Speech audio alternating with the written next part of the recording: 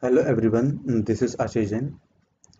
This is a continuation video on income from salary. देखिए in the first video lecture we have discussed uh, what are the what like what kind of income would be taxable under head salary. So हमने discuss किया था like while calculating while calculating the computation uh, while while computing the uh, taxable salary we need to include all these that is basic salary dinners allowance advance salary received arrears of salary leave salary fees and commission bonus all allowances that is taxable allowances taxable amount of gratuity taxable amount of pension and then we will get gross salary and after deducting standard deduction we will get taxable salary right ये हमने अच्छे से discuss किया था तो देखिए सो फार अगर हम देखिए तो हमने जो है ग्रेचुटी पेंशन लीव सैलरी ये सब हमने डिस्कस कर लिया। ठीक है that means we have discuss all these retirement benefit plus हमने पेंशन भी जो हमने सब डिस्कस कर लिया। Now in this video lecture we are focusing on the allowances because allowances अब तक हमने टच नहीं किए। So in this video lecture हम जो है we are only focus only on the allowances right so allowances allowances का मतलब क्या होता है?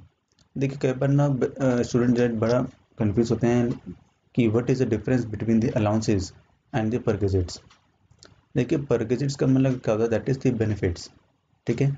And benefits that may be in cash और इन काइंड कुछ भी हो सकता है।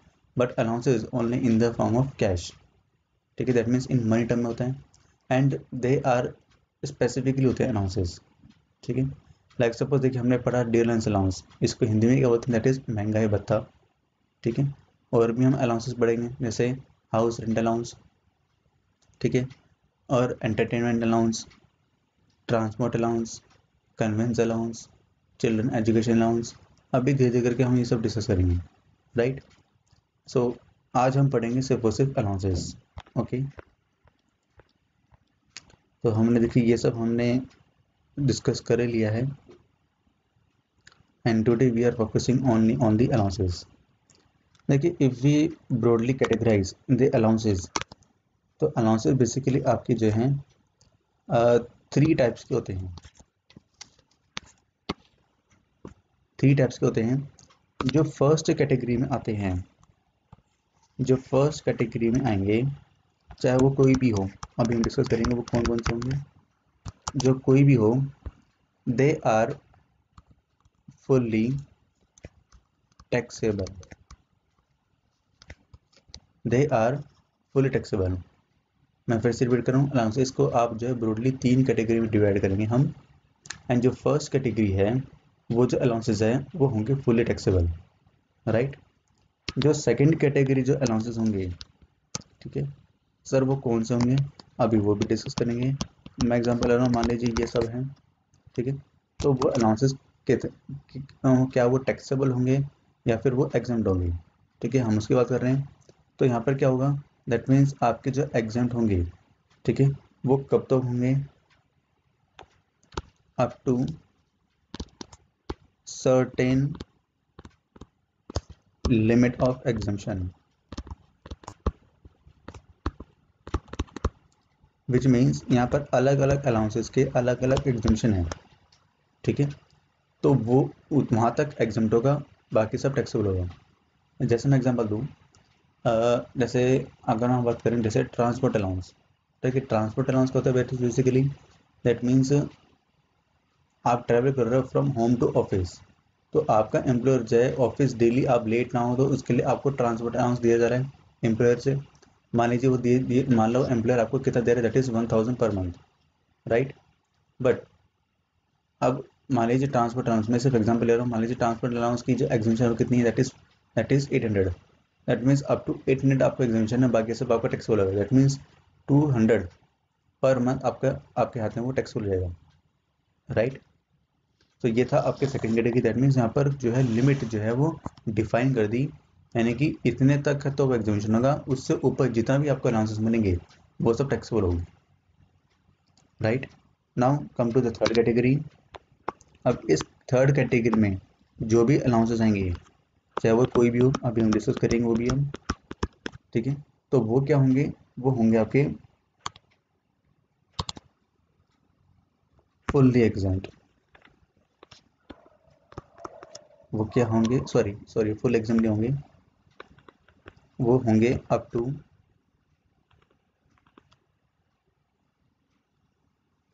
incurred for office purpose that means office purpose के लिए जितना आपने खर्चा किया, उतने तक क्या आपको एग्जामेशन बाकी नहीं मिलेगी। जैसे एग्जांपल दूँ, मैं एग्जांपल तो सपोज़ मैं सिर्फ़ एग्जांपल मान लीजिए हेल्पर अलाउंस मान लीजिए एम्प्लॉयर ने आपको एक बोला कि आप अपने एक हेल्पर रख लो ताकि आपका वर्कलोड कम हो जाए। तो उसके लिए एम्प्लॉयर आपको सपोज़ जो है फाइव थाउज़ेंड पर मंथ आपको जो है हेल्पर अलाउंस दे रहे हैं राइट एंड बट आपने उस पर खर्चा कितना करा? दैट इज़ फोर थाउज़ेंड ही खर्चा करा ठीक है? तो फिर आपका टैक्सेबल कितना होगा? That is one thousand per month याद रखना, आपने खर्चा किया फोर थाउज़ेंड पर मंथ आप क्या उसको प्रॉपर बिलिंग दे रहे हो?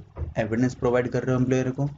या इनकम टैक्स ऑफिसर को कि देखो, हमने जो है फोर थाउज़ेंड पर मंथ हमने खर्चा किया है, अपने हेल्पर अलाउंस में, ठीक है? सो दैट मीन्स आपने वन थाउज़ेंड पर मंथ आपने सेव कर लिए तो जो सेव होंगे, वो सेव नहीं होगा, आपका वो बेसिकली टैक्सेबल हो जाएगा। राइट अच्छा इसका रिवर्स केस भी हो सकता है। मान लीजिए आपका एम्प्लॉयर दे ही रहा है आपको four thousand per month but आपने ज़्यादा खर्च कर that is five thousand per month तो इस केस में क्या होगा? देखिए, इस केस में अब इनकम टैक्स ऑफिसर से मतलब नहीं है। इनकम टैक्स ऑफिसर बस ये देखेगा कि आपका जो अमाउंट है अलाउंसेज है, वो टैक्सेबल है कि एग्ज़ाम है। I repeat income tax officer देखेगा कि आपको जो भी अलाउंसेस मिल रहे हैं एम्प्लॉयर से, क्या वो टैक्सेबल होंगे या एग्ज़ाम डॉक्यूमेंट से देखेगा। ठीक है? तो एग्जामेशन याद रखना, वो कभी भी नेगेटिव नहीं हो सकता। मान लीजिए आपको अलाउंसेस मिले फोर थाउज़ेंड से बट आपने खर्चा करा फाइव थाउज़ेंड से तो वो आपका वो four thousand minus four thousand ही होगा। नेगेटिव नहीं हो सकता कभी एग्जामिशन ओके अब इनकम टैक्स बोले ऑफ़िस बोलेगा कि भी आपको फोर थाउज़ेंड की एग्जामेशन फाइव थाउज़ेंड की मिल सकती अब आप बोले, अब आप बोलोगे कि भी भाई मेरा तो वन थाउज़ेंड का लॉस हो गया। नहीं, वो मेरा, वो इनकम टैक्स ऑफ़िस बोलेगा, वो मेरा काम नहीं है। आप अपने एम्प्लॉय से जाके बात करो। राइट सो अलाउंसेस में एग्जामिशन में ध्यान रखना। एग्जामेशन जो है वो कभी भी नेगेटिव नहीं हो सकते। राइट सो ब्रॉडली देखा जाए तो ये तीन कैटेगरी के हैं, और भी हैं बट उसको हम धीरे धीरे डिस्कस करेंगे। राइट तो पहले, एक बार हम फ़र्स्ट कैटेगरी को डिस्कस कर लेते हैं। That means what are the employees what are the allowances that are fully taxable ठीक है? तो यहाँ पर मैं लिख रहा हूँ फुल्ली टैक्सेबल अलाउंसेज के नाम।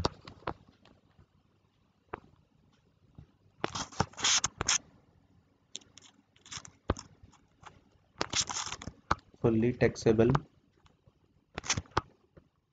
अलाउंसेज कौन कौन से हैं वो? एक तो हमने डिस्कस कर ही लिया है। दैट इज़ डियरनेस अलाउंस हमने देखा अब तक कितने प्रैक्टिस क्वेश्चन किए। हमने क्या इसके एग्जामेशन पढ़ी? नहीं। क्यों? क्योंकि पूरा ही टैक्सेबल है। हंड्रेड परसेंट अमाउंट जो वो टैक्सेबल होता है। Right second one is that is tiffin allowance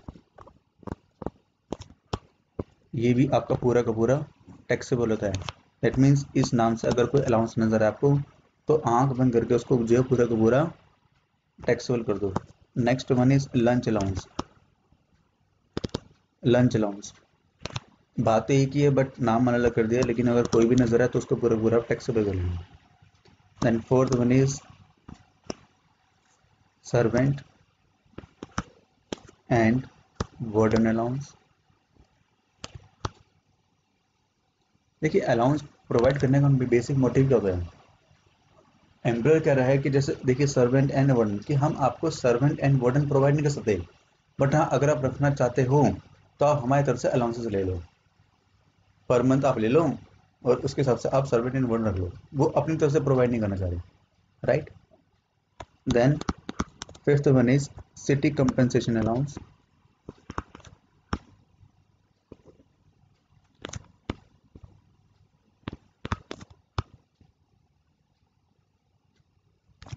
then sixth one is deputation allowance.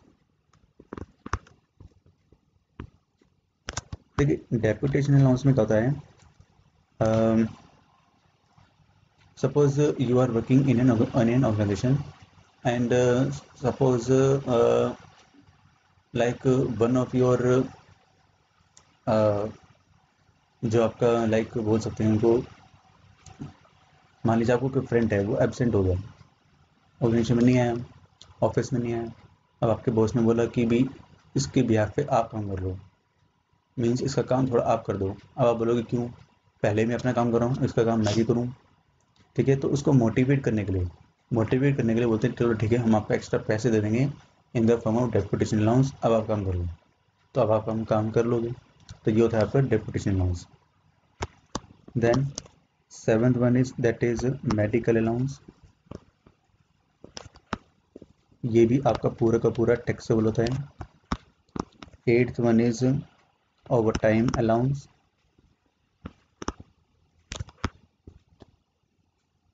ये मोटिवेट करने के लिए जितना ओवर टाइम करोगे, उतना अलाउंस से ज़्यादा मिलेंगे। Then telephone allowance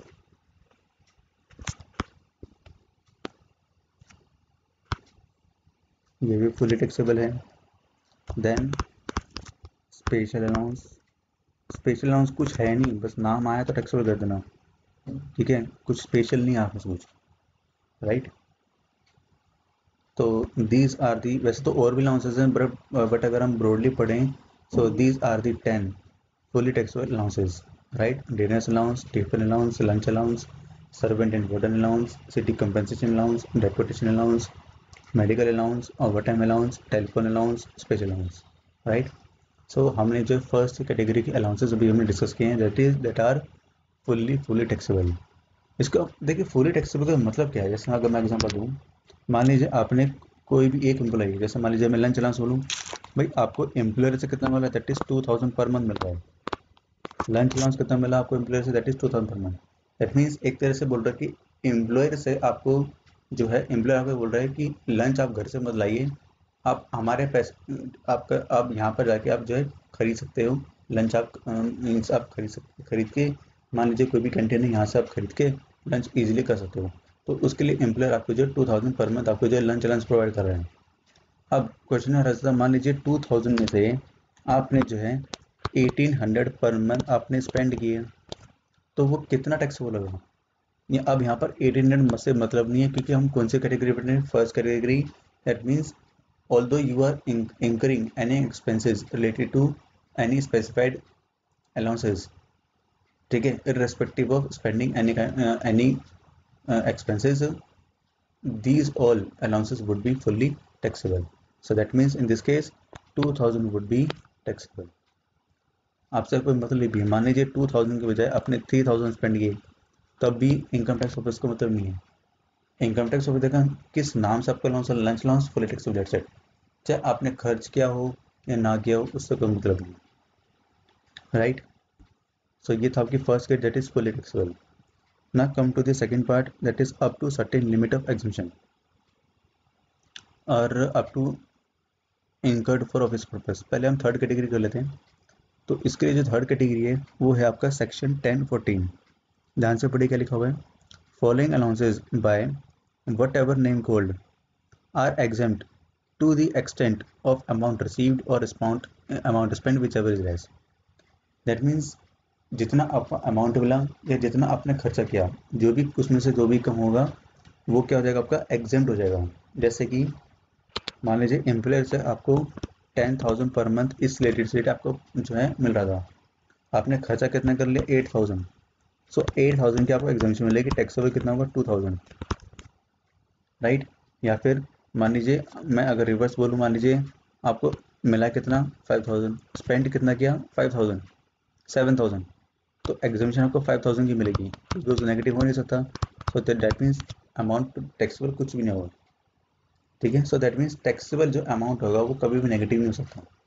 right so so, ऐसे कौन कौन से अलाउंसेस हैं जिसमें जो है आपको जितनी जितना आप खर्चा करोगे उतनी तक की आपको एग्जामेशन मिलेगी।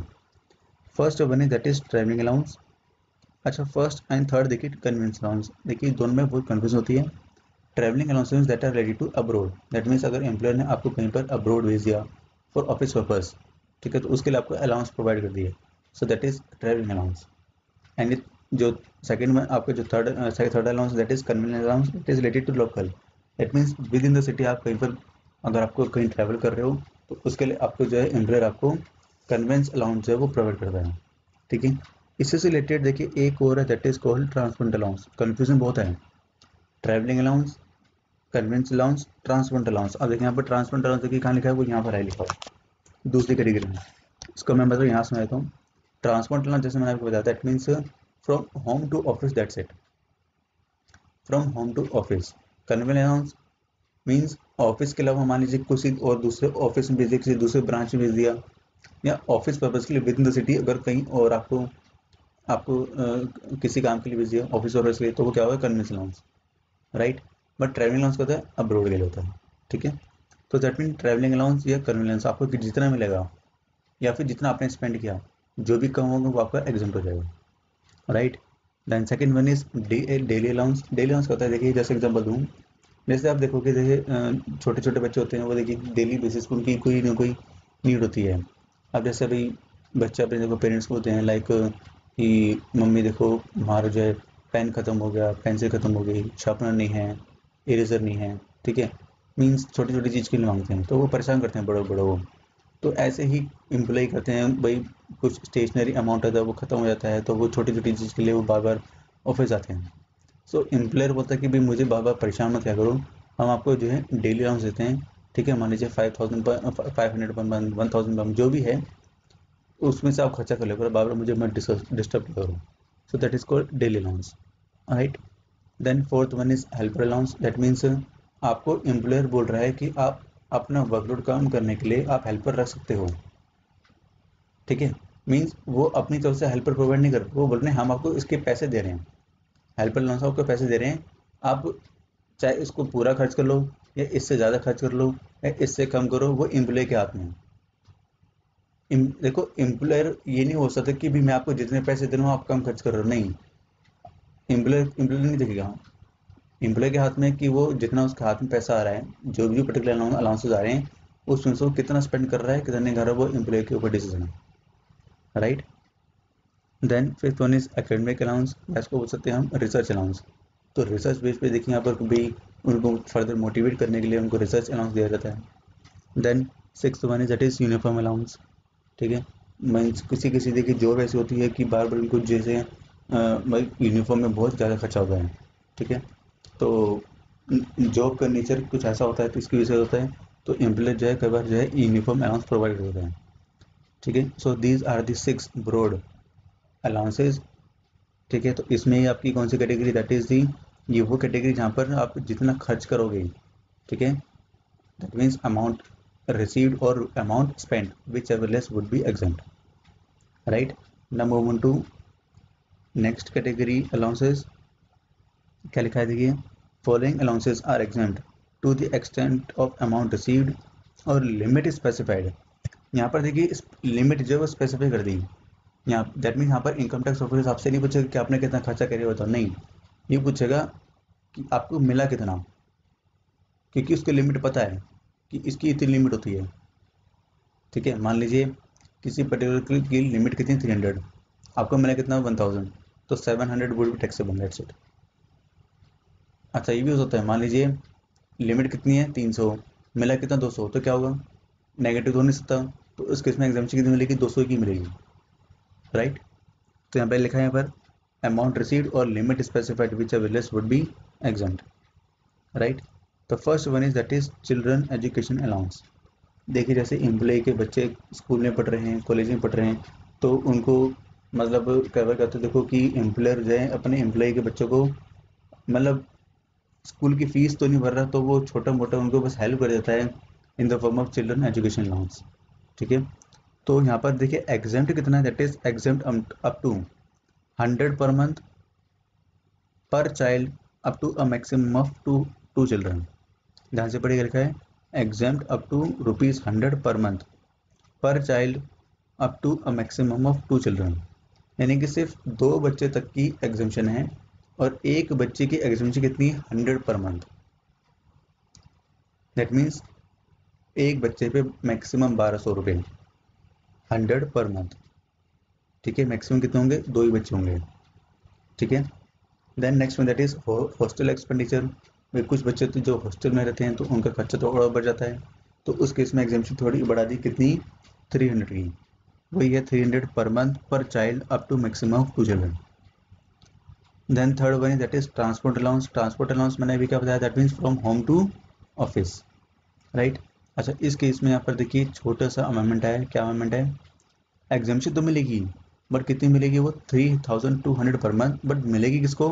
ओनली टू ब्लाइंड और handicap employ that means other than these people उनके लिए ट्रांसपोर्ट अलाउंस फुल्ली टैक्सेबल हो जाएगा।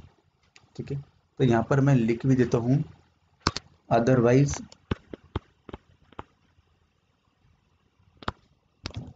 फुल्ली टैक्सेबल है okay? Then fourth one is is allowances to transport employees. Transport देखिए यहाँ पर ट्रांसपोर्ट अलाउंस और ट्रांसपोर्ट दोनों में डिफरेंस है। ट्रांसपोर्ट एम्प्लॉयज़ का मतलब क्या है? जैसे देखिए मान लीजिए कि मेरे, मान लीजिए मेरा, मेरे पास आठ दस ट्रक रखे हैं तो मैं अपने ड्राइवर भी रखूँगा। अब वो ट्रांसपोर्ट जाते हैं, मान लीजिए बहुत जो तीन तीन तीन तीन, चार दिन का वो टूर करते हैं, ठीक है? सप्लाई करते हैं गुड्स की। तो उस केस में देखिए वो कहाँ रहेंगे? क्योंकि वो ट्रक में रहते हैं, ठीक है? बीच सड़क पे ढाबे में खाना खाते हैं, वहीं सड़क पे सोते हैं, जैसे भी करते हैं, ठीक है? तो उनसे रिलेटेड देखें, मेरा जो है फ़र्ज़ बनता है कि मैं उनको कुछ अलाउंसेस प्रोवाइड करूँ। तो वो कौन सा अलाउंस है? That is allowances to transport employees that means those employees which are mainly engage in transport business okay so इसमें अलाउंस कितना मिलेगा? मीन्स एग्ज़ाम एग्जामेशन कितनी इसमें?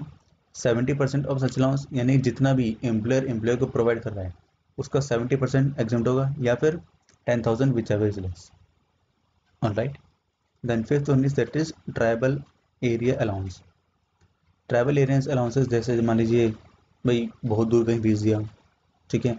तो उसका कहीं एग्ज़ाम कितना होगा? That is two hundred per month then underground allowance उसका कितना है? Exam up to eight hundred per month then ये रेंज के ऊपर है दैट मीन्स हिली एरिया में कहीं पर जॉब कर रहे हैं बॉर्डर पे या रिमोट एरिया अलाउंसेस पे तो कितना? है थ्री हंड्रेड से सेवन थाउज़ेंड पर मंथ ये रेंज है दैट मीन्स जैसे मान लीजिए पहाड़ी इलाके में कर रहे हो तो क्या होता है? मीन्स जैसे पहाड़ी इलाके में कर रहे हो तो कितने, जितना आप एल्टीट्यूड जितना आप हाई पे जाओगे, उस हिसाब से आपकी जो है ये रेंज बढ़ती जाएगी, ठीक है?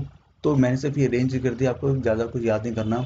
इससे रिलेटेड जो है, इतने क्वेश्चन नहीं आते आते ही नहीं वैसे तो ठीक है ना? तो मैंने सिर्फ़ एक नॉलेज के लिए आपको यहाँ पर लिख दिया। That means these are the allowances तो इसमें एग्जामेशन क्या होगी? दैट इज़ अमाउंट रिसीव्ड और limit specified which is less right that is children education allowance hostel allowance transport allowance ठीक है? Allowances to transport employees travel area allowance underground allowance ठीक है? तो हमने देखिए तीनों कैटेगरी डिस्कस कर ली अच्छे से। ठीक है? अब है हमारा next one that is which is very very very important that is house rent allowance house rent allowance पहले एक बार मतलब समझ लेते हैं। मान लीजिए आप कहीं पर प्लेसमेंट लगी आपकी कहीं। ठीक है जैसे बिग फोर में कहीं पर लगी डिलोइट ई वाई के जी गूगल कहीं पर भी लगी हो या माइक्रोसॉफ्ट ठीक है कहीं पर भी लगी हो। सो so, मान लीजिए अगर एम्प्लॉयर आपको बोलता है कि आपको हाउस रेंट अलाउंस प्रोवाइड कर रहा है हाउस रेंट अलाउंस का मतलब क्या होता है? जैसे मान लीजिए आप ऑफ़िस भाई, आप रहते हो मुंबई में, आपकी फैमिली मुंबई में बट आपकी जॉब करने की दिल्ली में, ठीक है? अब एम्प्लॉयर आपको बोल रहा है कि आप दिल्ली में रह रहे हो, ठीक है? तो हम आपको हाउस रेंट अलाउंस प्रोवाइड कर रहे हैं। दैट मीन्स दिल्ली में अगर आप कोई भी रेंट पे कर रहे हो तो उसके पैसे हम देंगे। अब वो कितने दे रहे हैं? हाउस रेंट अलाउंस दे रहे हैं। मान लीजिए दे रहे हैं टेन थाउज़ेंड पर मंथ अब सवाल ये उठता है कि आपको हाउस रेंट अलाउंस प्रोवाइड दे क्यों रहे हैं? दे क्यों रहे हैं? ताकि एम्प्लॉयर को मोटिवेट करने के लिए। ठीक है? डेली ऑफ़िस आने में इनको कोई दिक्कत ना हो। ठीक है? तो कि भी आप जो है, अपना घर जो है, या रेंट पे आप ऑफ़िस के पास ही अपना घर ले सकते हो पीजी ले सकते हो। ठीक है? तो इसके लिए हम आपको जो है हाउस रेंट अलाउंस प्रोवाइड कर रहे हैं। राइट अब अगर एम्प्लॉयर अगर आप, अगर एम्प्लॉय को हाउस रेंट अलाउंस प्रोवाइड कर रहा है तो अब हमें पढ़ना है, क्या जो अमाउंट मिल रहा है, क्या वो पूरा टैक्सेबल है? अगर तो पूरा टैक्सेबल नहीं है दैट मीन्स पार्शियल टैक्सेबल है तो, तो कितना अमाउंट ऑफ़ एग्जीबिशन है? यहाँ पढ़ना है। तो इसके लिए सेक्शन है सेक्शन थर्टीन ए क्या लिखा है मैंने? Least of the following shall be exam least of the following shall be exam मैं फिर से बोल रहा हूँ student H R A that is house and allowance is very very very important इसके कंसेप्ट देखिए आगे तक अलग आगे चैप्टर जितने हम पढ़ेंगे उसका आपको करने के इसका रेफरेंस ज़रूर रिफ्लेक्शन ज़रूर रहेगा so it's better to clear all the all the fundamental concept here only right so देखिए house and allowance that means if the if employer providing any kind of such allowance then least of the following would be exempt in the hand of employee क्या क्या होगा first one is allowance actually received by the employee then second one is rent paid less 10% of salary क्या मतलब हुआ Rent paid by the employee जितना भी वो rent पे कर रहा है ten thousand per month twenty thousand per month fifteen thousand per month कितना भी पे कर रहा हूँ तो टेन थाउज़ेंड मान लीजिए पर मंथ है तो पूरे साल का ही करना है। या फिर जितने साल जितने महीने का वो पे कर रहा है, उतना ही आपको रेंट पे लेना है। राइट मान लीजिए वो आठ मंथ का एट मंथ्स का रेंट पे कर है भाई मान लीजिए उसने, भाई रेंट पे वो आया, ठीक है? तो वो कब से उसने किया मान लीजिए? मान लीजिए वो जुलाई से आया। ठीक है तो जुलाई से काउंट करेंगे दैट मीन्स नाइन मंथ्स ठीक है तो रेंट पे यानी कि जितने साल जितने महीने का उस पर्टिकुलर प्रीवियस ईयर में जितने उसने रेंट पे किया, वो यहाँ लिखेंगे। Less ten percent of salary ten percent of salary यानी कि अब यहाँ पर आपको कहाँ घूमगा दिया? सैलरी में, कि सैलरी का मीनिंग है यहाँ पर? तो जब भी सैलरी आई मतलब क्या जाना आपको? आपको जाना है गोल्डन रूल्स के पास। और गोल्डन रूल्स में यहाँ पर सेकंड कॉलम है। सेकंड कॉलम में क्या है? Basic salary plus D A D A कौन सा? Only forming part of retirement only right and third one is that is commission अच्छा कमीशन भी कौन सा होगा? दैट इज़ परसेंटेज बेस वाला होगा। ध्यान से देखिए, एक बार हम गोल्डन नोट्स पे एक बार हम देख ही लेते हैं।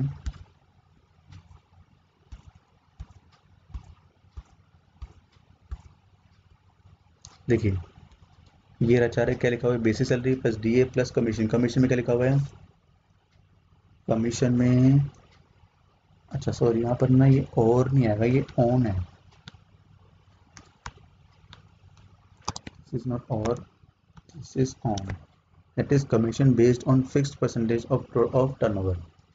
यानी कि टर्नओवर बेसिस पे जितना फिक्स्ड उसमें लिखा होगा, चाहे six percent seven percent ten percent fifteen percent जितना भी हो लिखेंगे। इसका मतलब क्या हो देखिए, यहाँ पर कमीशन आपकी दो टाइप होते हैं। एक तो होता है फिक्स कमीशन एक होता है बेस्ड ऑन टर्नओवर और सेल्स ठीक है? तो यहाँ पर जब जो फिक्स्ड अमाउंट होगा ना, वो आपको कंसिडर नहीं करना। आपको यहाँ पर कौन सा कमीशन कमीशन कैसे करना है, जो कि सेल्स से रिलेटेड होगा, जो परसेंटेज फॉर्म में होगा। राइट वही करना है, बाकी इग्नोर करना है। सो आई रिपीट यहाँ पर एच में आपको देखो सैलरी से क्या मतलब है यहाँ पर? Basic plus T that is only forming part of retirement plus commission which commission that is purely based on fixed percentage purely based on fixed percentage of total turnover right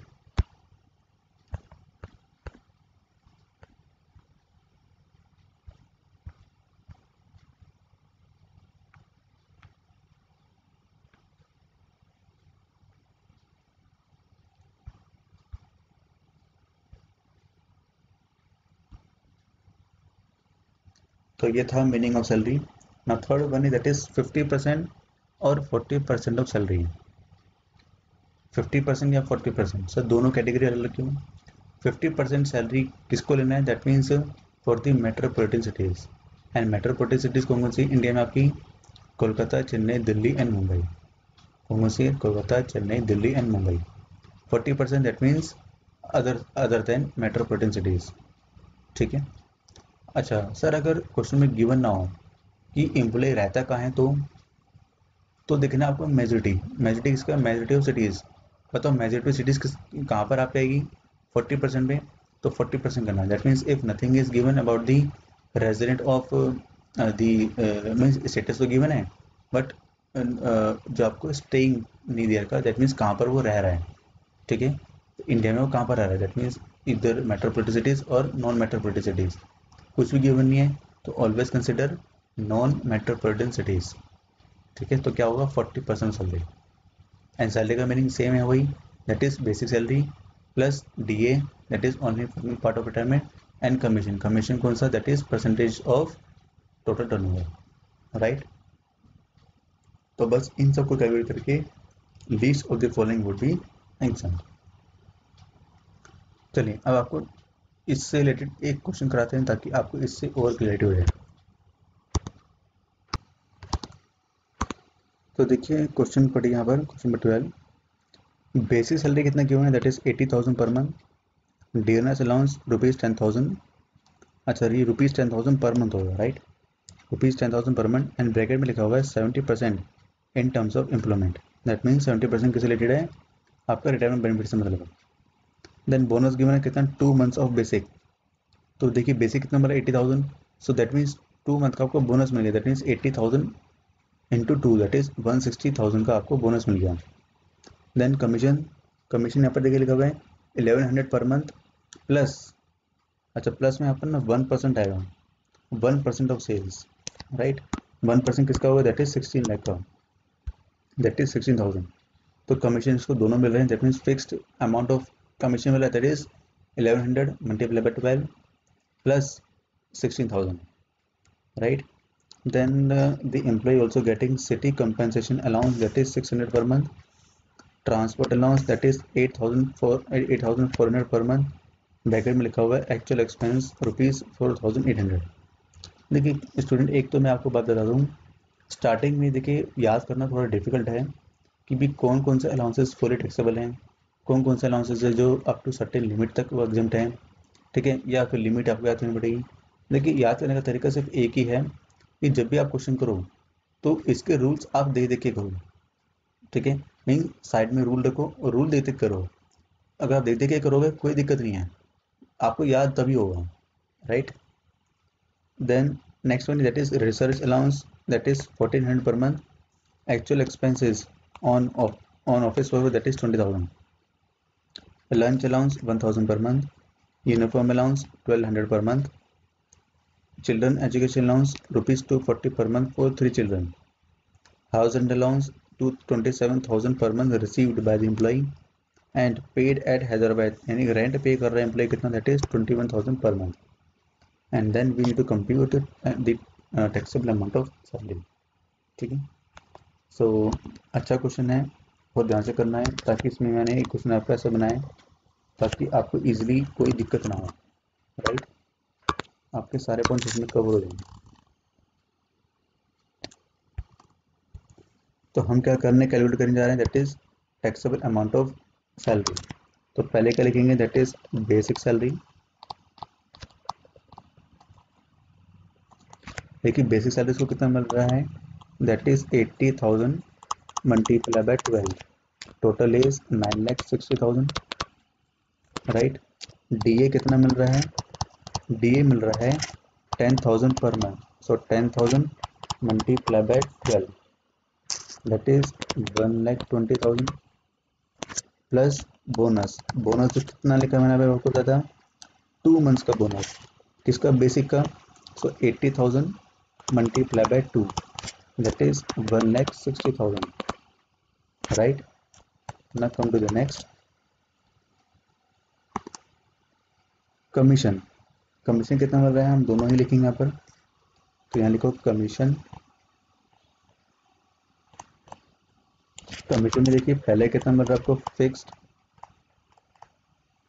कितना मिल रहा है आपको? 1100 hundred multiply by twelve that is equal to thirteen thousand two hundred and क्या मिल रहा है आपको? परसेंटेज बेस भी मिल रहा है। कितना मिल रहा है आपको? One percent of sixteen lakh that is sixteen thousand तो यहाँ लिखो one percent of sixteen lakh that is sixteen thousand total आपका कितना टैक्स हो जाएगा आपके यहाँ पर? That is twenty nine thousand two hundred right then next one that is city compensation allowance देखिए लिस्ट में देखेंगे तो ये आपको ये कौन सा अलाउंस है जो कि फुली टैक्सेबल होगा। ठीक है? तो जितना मिल रहा है वो पूरा का पूरा टैक्स हो जाएगा। तो ऐड करो यहाँ पर city compensation allowance that is 600 multiply by 12 which comes to amount of rupees 7200 then, moving to next allowance, that is transport allowance. Transport allowance मैंने क्या बताया था आपको मैंने कि ट्रांसपोर्ट अलाउंस जो है सिर्फ़ एक के लिए एग्जामेशन है। किसके लिए? For the blind and for the handicap employees बाकी कोई और होगा तो उनके लिए फुल टैक्सेबल होगा। अब इस क्वेश्चन में कहीं पर गिवन नहीं है कि जो एम्प्लॉय है, क्या वो मतलब ब्लाइंड है या फिर डिसेबल है, ठीक है डिफरेंट एबल्ड पर्सन है, कोई भी हो, कुछ लिखा नहीं है। नथिंग इज़ गिवन तो हम क्या मानेंगे कि वो कोई नॉर्मल पर्सन है एम्प्लॉय है तो उसके लिए पूरा का पूरा अमाउंट जो टैक्स हो जाएगा। दैट मीन्स जो ब्रैकेट में गिवन है ये आपको कन्फ्यूज़ करने के लिए दिया हुआ है, जो ब्रैकेट में लिखा हुआ है एक्सपेंस एक्चुअल एक्सपेंस उसने कितना खर्च करा? फोर थाउज़ेंड इंडिया उससे कोई मतलब नहीं है। इनकम टैक्स ऑफिसर के अकॉर्डिंग अगर आप ब्लाइंड नहीं हो या डिफरेंट एवल पर्सन नहीं हो तो जितना भी आपको एम्प्लॉयर ट्रैवलिंग अलाउंस दे रहा है तो वो पूरा पूरा टैक्सेबल हो जाएगा। राइट तो यहाँ लिखो transport allowance that is 8400 multiply by 12 right? So ये जो अमाउंट आपका आ जाएगा, that is one lakh eight hundred.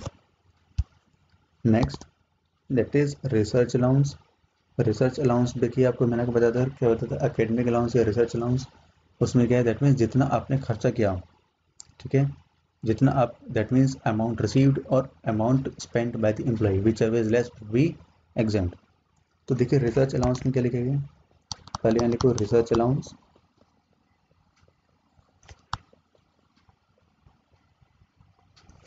देखिए, मिला कितना? That is fourteen hundred per month that is equal to sixteen thousand eight hundred तो एग्ज़ाम कितना होगा इसमें? आपने खर्चा कितना करा? ट्वेंटी थाउज़ेंड का? तो वो नेगेटिव तो नहीं सकता, वो पूरा का पूरा ही आपका वो एग्ज़ाम हो जाएगा। सो दैट मीन्स यहाँ पर आप लिखोगे नेल ठीक है? देखिए, मैं फिर से बोल रहा हूँ, आपको लिखना पड़ेगा नेल एग्ज़ाम मेरे को पता होना चाहिए कि आपने ये नील अमाउंट कैसे निकाला। कभी कहते स्टूडेंट की नील आएगा तो लिखते ही नहीं नहीं वो गलत हो जाएगा प्रेजेंटेशन आपको ऐसे ही देनी है। Next that is lunch allowance देखिए लंच अलाउंस में तो आपका पूरा का पूरा टैक्स होता है। तो यहाँ लिखोगे plus lunch allowance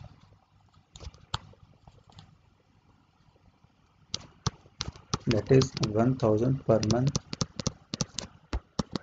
12000 next uniform allowance uniform allowance क्या होता है आपका? पूरा का पूरा वही टैक्स होता है।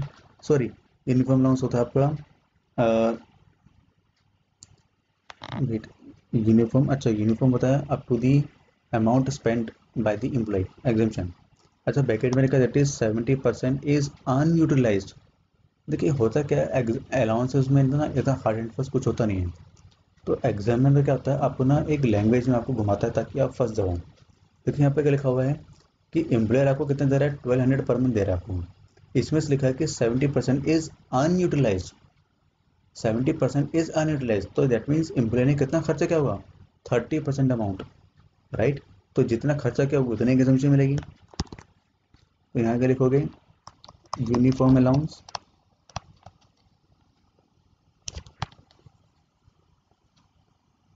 तो देखिए, यहाँ पर आपको एम्प्लॉय से कितना मिला था? ट्वेल्व थाउज़ेंड पर मंथ मिला था। इसका थर्टी परसेंट निकाल कितना होगा? थ्री सिक्सटी तो जो डिफरेंस अमाउंट होगा, वो आपका टैक्सेबल हो जाएगा। That is again ten thousand eighty ten thousand eighty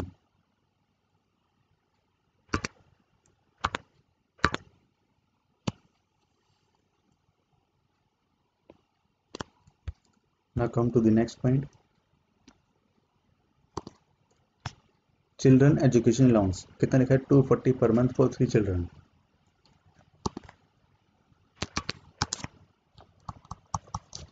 children education allowance बहुत ध्यान से देखिए, इस पॉइंट को यहाँ पर जो है, देखिए, आँखों की धोखा दो हो सकता है तो बहुत ध्यान से लिखिए देखिए, अगर आप लैंग्वेज पढ़ो के लिखा हुआ है two forty per month for three children two forty per month है पर चाइल्ड नहीं है।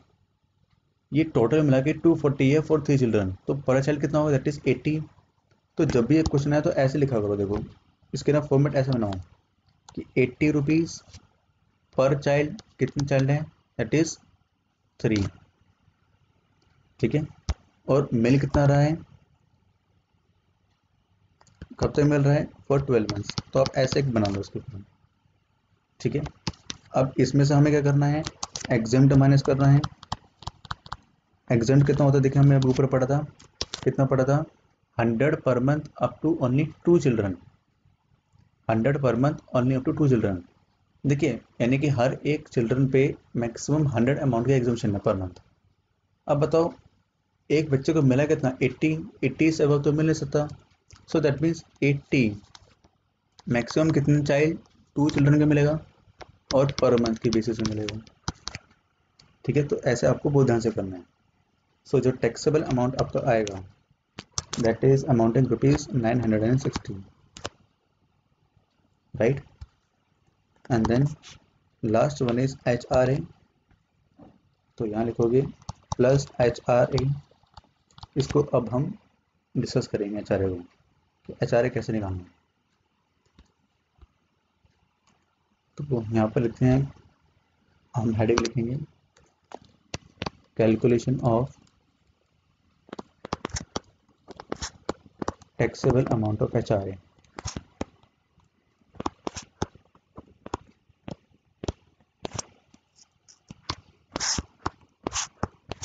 पहले हम अपनी कैटेगरी लें क्या क्या होता है देखिए। फ़र्स्ट पॉइंट क्या था आपका अमाउंट रिसीव्ड देन क्या होता है आपका? Rent paid minus ten percent of salary and third one is forty percent या फिफ्टी परसेंट ऑफ़ सैलरी ये हमने अपने अंडरस्टैंडिंग यहाँ लिख लिखी ताकि हमसे कोई भी मिस्टेक ना हो। ठीक है? सो देखिए अमाउंट कितना मिल रहा है एम्प्लॉयर से? That is twenty seven thousand per month so twenty seven thousand multiply by twelve that is three lakh twenty four thousand amount कितना मिला? रिसीव कितना मिला? यहाँ मैं लिख भी देता हूँ। Twenty seven thousand multiply by twelve that is equal to three lakh twenty four thousand इतना अमाउंट मिला। आप क्या करना हमें? नेक्स्ट क्या रेंट पेड रेंट एम्प्लॉय कितना पे कर रहा है? That is twenty one thousand per month ठीक है? सो यहाँ लिखोगे ट्वेंटी वन थाउज़ेंड इंटू में ट्वेल्व इसको हम माइनस करेंगे किससे? टेन परसेंट ऑफ़ सैलरी अब हमें सैलरी भी करनी है कैलकुलेट ठीक है? तो सैलरी हम थोड़ी देर में लिखते हैं। पहले देखते हैं यहाँ पर कि थर्ड कैटेगरी देखते हैं फोर्टी परसेंट लगेगा कि फिफ्टी परसेंट देखिए, यहाँ पर क्या हो सकता है आपका? हैदराबाद में। हैदराबाद के नॉन मेट्रोपोलिटन सिटीज़ तो क्या लगेगा आपका फोर्टी परसेंट ऑफ़ सैलरी ठीक है? अच्छा एक बार ना फोर्टी परसेंट फिफ्टी परसेंट को एक बार ध्यान से और देखिए। देखिए, हो सकता है कई बार आपको क्वेश्चन एग्ज़ाम ऐसे दे दे कि जैसे अगर मैं आपसे पूछूँ कि नोएडा नोएडा के लिए आपको क्या क्या आप कंसिडर फिफ्टी परसेंट या फोर्टी परसेंट देखिए, नोएडा आपका कहाँ पड़ता है? यूपी में पड़ता है दिल्ली में नहीं पड़ता एनसीआर में आता है या उसे दिल्ली के पास से उसका मतलब नहीं है। जो दिल्ली में नहीं है या जो मेट्रोपोलिटन सिटीज़ नहीं है तो नहीं है। जैसे गुड़गांव। गुड़गांव, वो भी आपका दिल्ली में नहीं आता तो वो वहाँ पर हमारा फोर्टी परसेंट हो गई। ठीक है? अच्छा केस ए एक और भी आ सकता है। जैसे आपको मैं तो बताया था कि या तो कुछ भी गिवन नहीं तो फोर्टी परसेंट ठीक है? नॉन मेट्रोपोलिटन सिटीज़ अगर जब तक आपको नाम स्पेसिफिक ना गिवन है, तब तक आपको फोर्टी परसेंट ही कैसे मांगेंगे अच्छा क्वेश्चन इस तरह से एग्ज़ाम पूछ सकते हैं। मान लीजिए कि कोई पर्सन जो है, मान लीजिए रहता दिल्ली में है बट उसको ऑफ़िस गुड़गांव में है। रिपीट उसने रेंट पे जो रहता है, वो रहता है दिल्ली में बट ऑफ़िस उसका गुड़गांव में है। तो इस केस में आप जो है फिफ्टी परसेंट लोगे फोर्टी परसेंट लोगे। या तो यहाँ तरीका एक ही बता रहा हूँ। देखिए यहाँ पर अलाउंस कौन सा पढ़ रहे हैं? हम house rent allowance not office rent allowance क्या पढ़ रहे हैं? हाउस रेंट अलाउंस यानी कि घर कहाँ पर है? तो देखिए आप रेंट कहाँ पे कर रहे हो? दिल्ली में। ऑफ़िस कहाँ है आपका? गुड़गांव में। तो ऑफ़िस से मतलब हम देखेंगे कि आप रेंट कहाँ पे कर रहे हो? दिल्ली में। तो that means fifty percent reverse कैसे हो सकता है? दैट मीन्स घर आपका गुड़गांव में हो या फिर, या ऑफ़िस आपका दिल्ली में हो। तो गुड़गांव में अगर आपका घर है, जहाँ पर रेंट पे करो तो फोर्टी परसेंट कैसे करेंगे राइट तो इस केस में क्या Hyderabad that is forty percent लेंगे ठीक है? तो बस अब हम मेनली हमें कैलकुलेशन करनी दैट इज़ सैलरी कि। हम एच आर में सैलरी का लेंगे? तो हम एच आर में देखिए सैलरी क्या कर लेते हैं अगर आपको याद हो तो। एक तो लेते हैं हम बेसिक सैलरी गोल्डन रूल्स के अकॉर्डिंग इसमें हम ऐड करेंगे D A only forming part of retirement plus commission commission कौन ना, कौन सा? सिर्फ़ और सिर्फ़ fixed percentage based on total turnover ठीक है? बेसिक सैलरी यहाँ पर कितनी है? देखिए यहाँ पर। That is eighty thousand per month तो नाइन सिक्सटी आ जाएगा आपका। ठीक है? डी ए डी ए में आप क्या लोगे देखिए मिल कितना रहता है ten thousand per month but इसका हम सिर्फ़ सेवेंटी परसेंट ही कंसिडर करेंगे बिकॉज़ वही आपका जो है फॉर्मिंग पार्ट ऑफ़ रिटायरमेंट था तो वो आपका अमाउंट कितना जाएगा? Eighty four thousand right commission कौन सा लेंगे?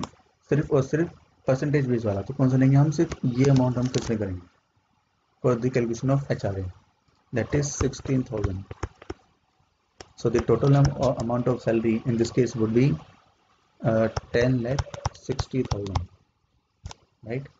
तो बस अब ये सारे पॉइंट हम यहाँ पर लिख देंगे। तो यहाँ पर कितना आ जाएगा आपका? That is ten lakh sixty thousand यहाँ पर भी आ जाएगा आपका, ठीक है? And ten lakh sixty thousand आपका यहाँ पर भी आ जाएगा।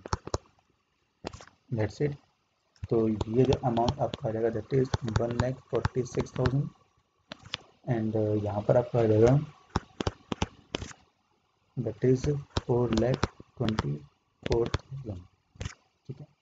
तो देखिए एग्ज़ाम पार्ट कौन सा होगा आपका? तो whichever is less would be exempt exempt क्या होगा आपका? दिस मच अमाउंट ठीक है? एंड नाइन्टी परसेंट केस में आपका देखिए, यही आएगा ठीक है? नाइन्टी परसेंट केस में। सो टैक्सेबल अमाउंट कितना होगा आपका देखिए? That is three lakh twenty four thousand less one lakh forty six thousand तो that means taxable amount of person कितना होगा आपका? One lakh seventy eight thousand बस अब उसको हम यहाँ पर लिख देंगे। So taxable amount of H R A would be one lakh seventy eight thousand सबको ऐड करेंगे तो you will get gross salary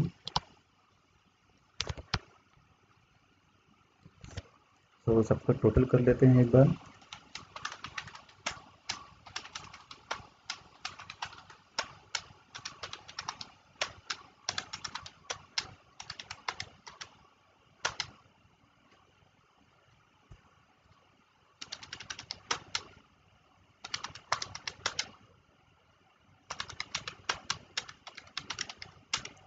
Now the amount of gross salary is 15 lakh 78,240 right अब हमसे क्या बोलते टैक्सेबल अमाउंट तो इसमें से हमें लेस क्या करेंगे? स्टैंडर्ड डिडक्शन वो भी लेस करेंगे. एंड उसका अमाउंट जो फिक्स है irrespective of amount of gross salary उससे का मतलब नहीं कितना भी हो सो बस rest amount that is 15 lakh 28,240 this is the taxable salary right so class in this particular question I have covered all types of of mainly mainly जो major portion है ठीक है तो वो मैंने जो अलाउंसेस कवर कर दिए that is city compensation allowance transport allowance service allowance lunch allowance uniform allowance children education allowance H R A ठीक है? मेनली मैंने मैंने इम्पोर्टेंट कवर कर लिए ताकि आपको एक ओवरव्यू हो जाए कि एग्जामेशन हम किस तरह से in the case of allowances right so class with this we have finish the allowances topic and from the next video lecture moments I will start purchase okay so class I hope you have understood very well thank you